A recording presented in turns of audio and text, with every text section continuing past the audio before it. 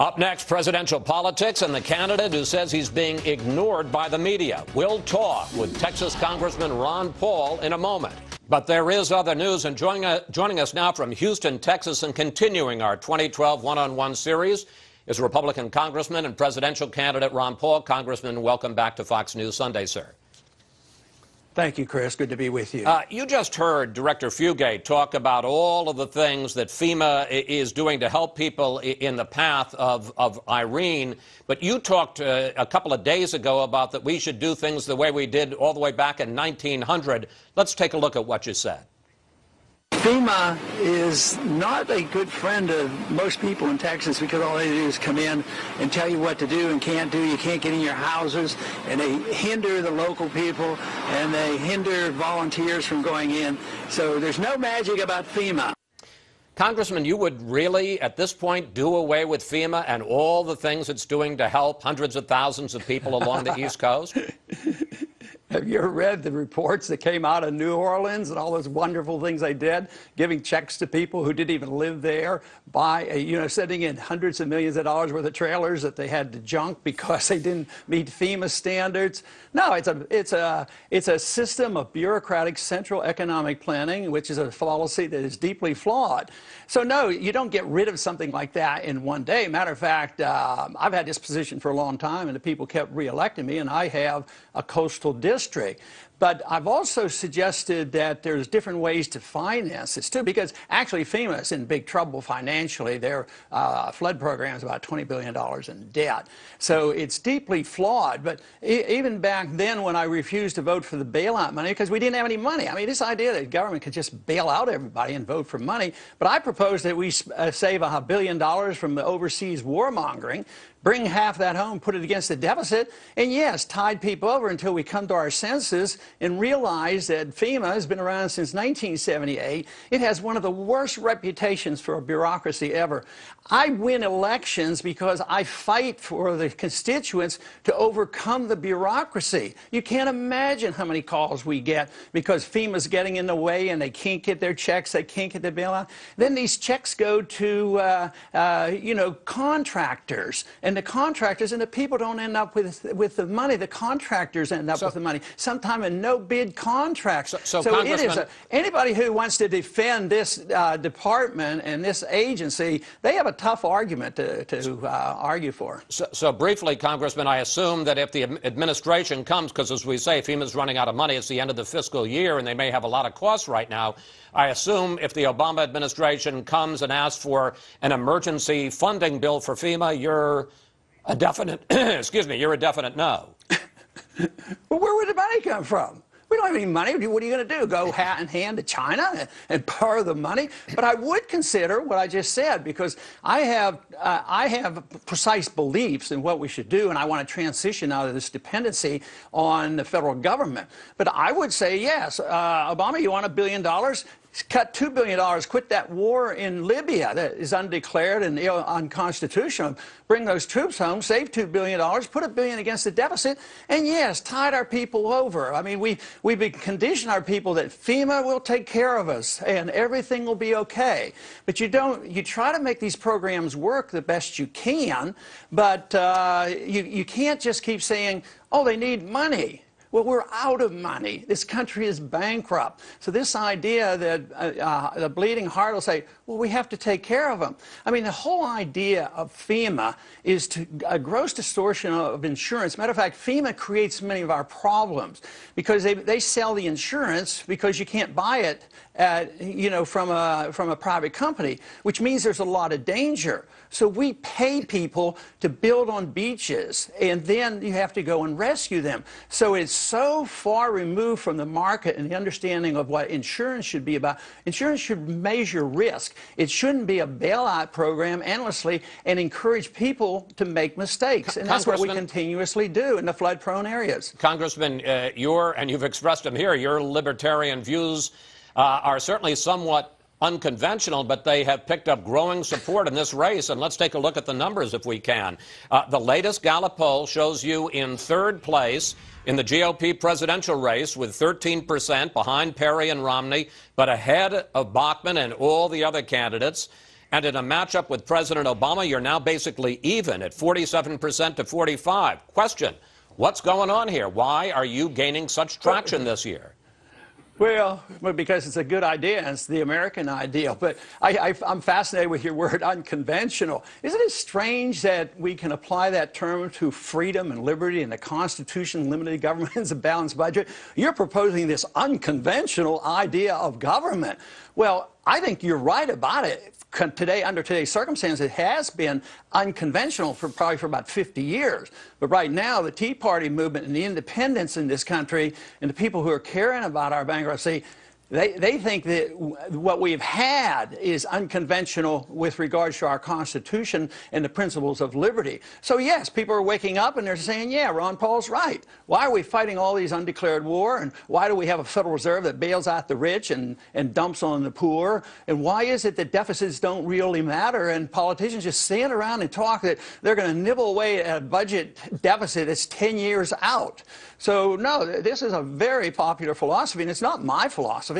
It's the philosophy of the Constitution, it's the philosophy of liberty, private property rights, and not dependency on government.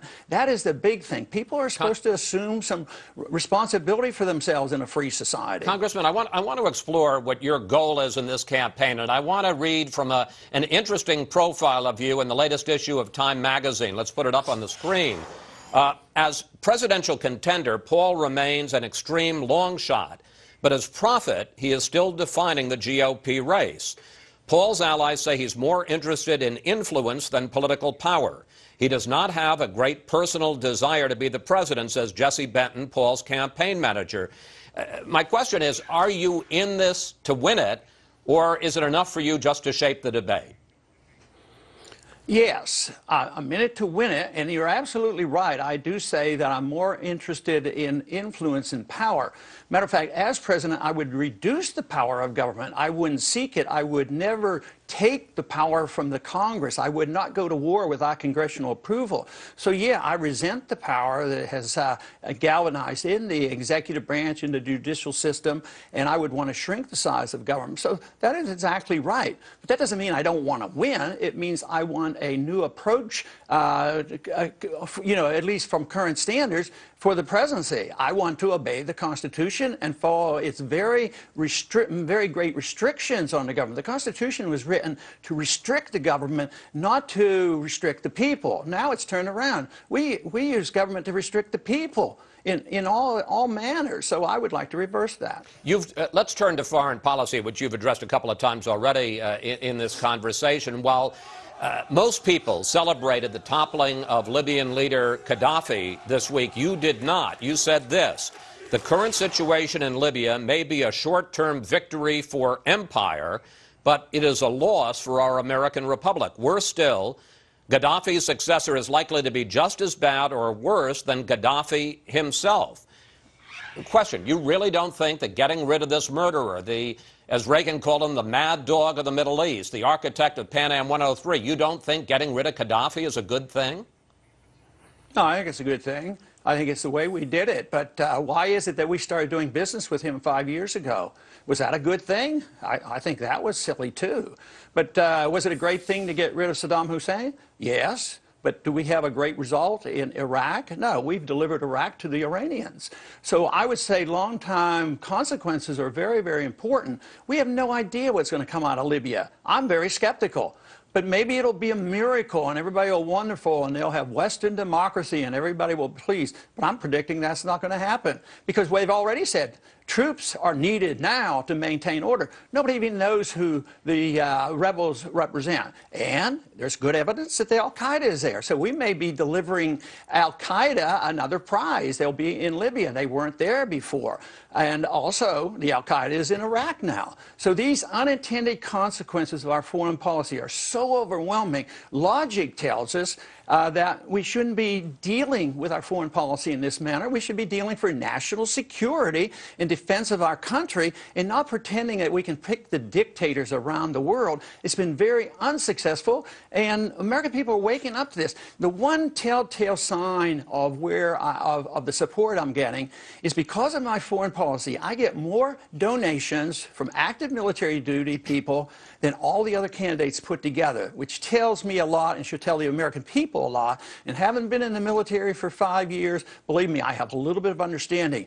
In the 1960s, I wasn't anxious for Johnson to expand the war in Vietnam. There's no way I was encouraging that. Military people want to defend this country, but they don't want perpetual war when they're undeclared and you don't see the end and you don't know who the enemy is and there's too many restrictions on how they retaliate against the enemies and they get tired. Our Air National, our Guard units are over there. Our Guard units should be here taking care of us when we have floods. But no, they're overseas and the military is worn out. It's time for a change. If for no other reason, we're flat out broken. We can't afford the empire anymore. I, am sorry to interrupt, but I, have got a couple of more questions I want to ask you, and we're running out of time. You are a disciple of what's called the Austrian School of Economics. What is that, briefly?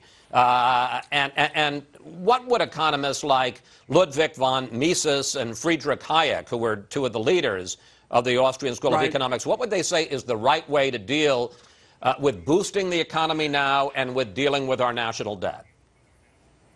Well, they asked Mises that one time. They were having runaway inflation in Austria. It's Austrian economics because the, main leaders of the school came. They escaped. They were mostly Jewish, and they came over here to escape uh, Nazism. And they asked him once at the height of a crisis like this, and there was a, a bit more inflation, and they said to uh, Mises, uh, what would you do? And he said, I'd resign. In other words, Take your hands off of it. Let the people take care of it. Let the people who have lived beyond their means, let them go bankrupt. Let the liquidation occur. Get rid of the malinvestment like we did in 1921. We recovered, it's not even in, hardly in our textbook about the Depression of 1921, which was a natural consequence of the inflation for World War I. So we want our hands off. The Depression lasted 17 years because we wouldn't do that.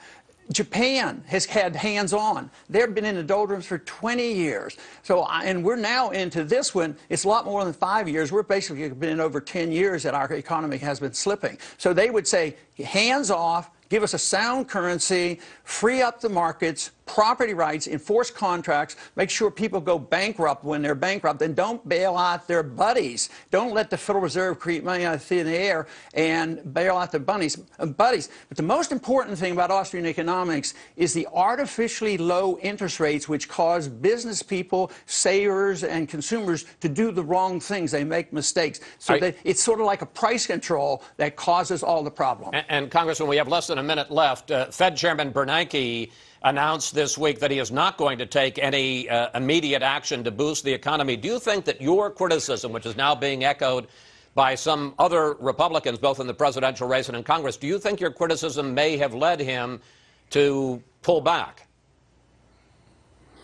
Well, he really hasn't pulled back. Symbolically, he has, and he's not having another QE3 but he has maintained that he will keep interest rates low for up until 2013. He can't keep interest rates low without monetizing debt because if somebody else doesn't buy it, he has to buy it. So he's continuously quantitatively easing. So Greenspan did that when he held interest rates too low too long, and he he was instrumental in creating the bubble. So it is not a big change in things. He at least, uh, but he sort of said, "Oh, it's up to the Congress." You know, if the Congress it's all Congress's fault. They need to deal with this because he's sort of throwing up his hands. But all he needs to do is quit monetizing debt. Interest rates would go up and Congress would be forced to cut. That is why gold backing a currency, a gold standard, restrains big government. Governments can't spend endlessly for entitlements and they can't spend by deficit financing to fight these endless wars. Congressman Paul, we're going to have to leave it there. We want to thank you so much for joining us and for the uh, economics lesson as well, sir. Always a pleasure to talk with you, you, and we'll, we'll see you on the campaign trail. Appreciate it, Chris.